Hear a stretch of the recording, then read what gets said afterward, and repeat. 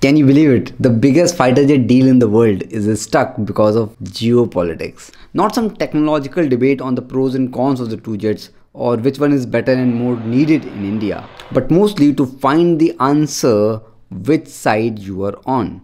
It's a tough call. If we pick the Russian Su-57, US under Trump will definitely threaten us with some sanctions. But if we pick USA's F-35, it will change the power dynamics in Asia creating more tensions on the border.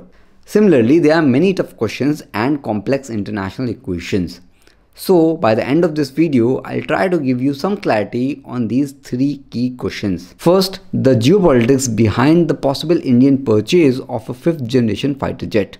Second, the best possible option for India under the technological, financial and geopolitical limits. Third, the future of Indian Air Force and the overall aviation industry in India. But first of all, what are these options and why are we even talking about it? Let me remind you some facts. China, our friendly neighbor, already has 5th generation fighter jets and they are finishing up 6th generation. Whereas we are struggling with 4, 4.5. You know where we are. That means at present there is a 15 year gap in technology between India and China, which by the way is bound to increase to 25 or even 30 years if India decides to develop its own fifth generation fighter jet, meaning we need an intervention now. The world knows it and that's why there are many offers on the table. To be specific, Lockheed Martin's F-35 Lightning II from USA and Sukhoi's Su-57 Felon from Russia. Please note these might not be the only offers. Some old versions with advancements are also being discussed. By the way, if you haven't already, do check out my last video on why India needs advanced jets. Uh, I'll link it somewhere in the end of the video. Coming to details, Russia has openly offered the production of its most advanced warplane Sukhoi Su-57 in India and even supporting India's efforts to develop its own fifth generation fighter jet. And to counter it, US also has an offer, their F-35 fighter jet.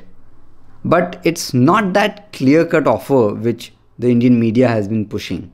Actually, Trump summarizes it very well. Listen to this. Increasing military sales to India by many billions of dollars. We're also paving the way to ultimately provide India with the F 35 stealth fighters. Yes, ultimately provide. Ultimately means finally in the end, eventually, someday in the future, after you buy the other stuff I'm requesting you to buy behind the scenes. Like for example, the Stryker combat vehicle or the F-21 fighter jet, which are also called the Super F-16 on steroids. The same F-16s which US had provided to Pakistan and in 2019 uh, an Indian pilot, Group Captain Abhinandan Vardhaman, shot it down at LOC. Why would India buy it? Why would India fall for it? Welcome to geopolitics. And this very attractive US offer of ultimately giving the F 35 could be a strategic move to reduce India's long standing relations, defense relations with Russia. Or maybe just to keep things on hold for a while. Although we can't deny the purchase of these American fighter jets could change the geopolitics of Indian subcontinent. Both China and Pakistan are closely monitoring these developments. India's purchase of F-35 would be a direct challenge to Chinese air superiority in the region, which I personally believe would be a great thing for India. Achha, cost is also another factor. The F-35s are amongst the most expensive fighter jets ever built, with each jet, each jet costing between 80 million to over 100 million depending on the model and the extra features. So are we planning to engage in a dogfight with China with these imported highly pricey fighter jets? I don't think so. Furthermore, there is also a psychological complication.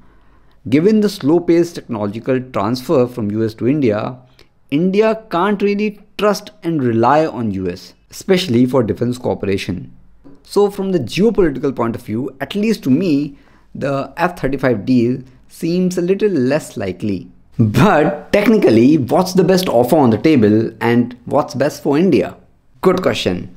Based on the stealth technology, which by the way makes the 5th generation fighter jets so special, the F-35 has no match. And without a doubt, the F-35 deal, if comes true, will boost the Indian defense. At this point, I think I should tell you something about the F-35. They are not actually a fighter jet.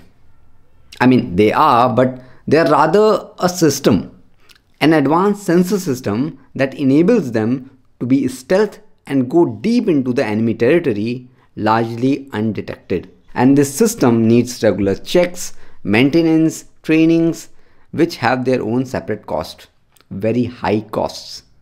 So India, who is also planning to develop its own fifth generation fighter jet, cannot be serious about uh, this subscription based model of a fighter jet. Plus, because of trust issues with US, Indian government might also be thinking, what if tomorrow US refuses to share any updates or any maintenances and uh, anything critical? And that makes the F-35 more like a dependency. But we are not done yet. The most important point is the entire Indian Air Force infrastructure is designed for the Russian Sukhoi and MiG fighter jets. Now, adding F-35 would require major changes to the logistics, maintenance and support systems. And don't forget, we also have the Russian S-400 defense systems and the BrahMos missile which we developed with Russia. So the question is, will they work with the American systems? It would be like using Microsoft PC and Apple MacBook simultaneously for your most critical project. Talking about the Su-57, it's a twin-engine multi-role jet, faster, cheaper and with larger combat range. And the Russians have also agreed to transfer their technology. Just great. But there is a problem.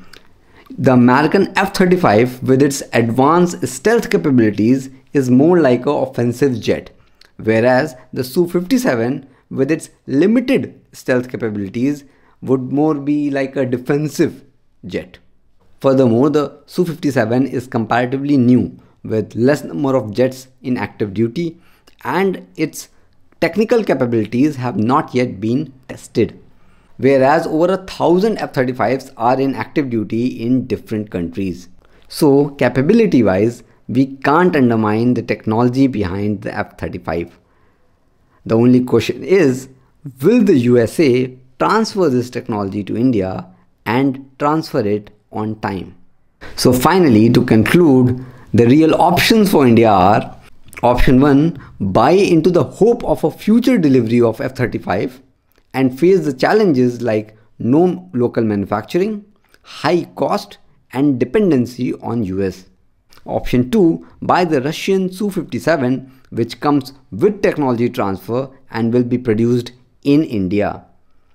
Although maybe a little less technologically advanced and comparatively new.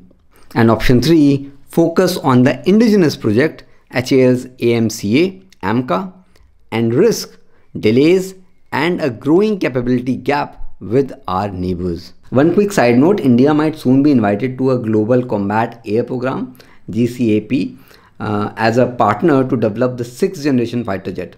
It's a program uh, led by UK, Italy, and Japan, all three which have good relations with India. Similarly, there are so many things happening in this industry. So, if you want me to continue making similar videos, please help me grow this channel. As I see it, all the negative points about the American F 35, other than the trust factor, should be considered as a fee to learn the technology. But the key is, and I will again say, US must transfer the technology and soon. So I believe what India should be doing and what will give us more control over our future is to negotiate buying a limited amount of F-35 jets that doesn't hinder our progress in the indigenous attempt HAL's AMCA. India must not lose focus on it because self-reliance is the ultimate goal. And getting one squadron strength or uh, 18 jets of Su-57, if the budget allows it, would be an added advantage. But missing this deal is not a loss.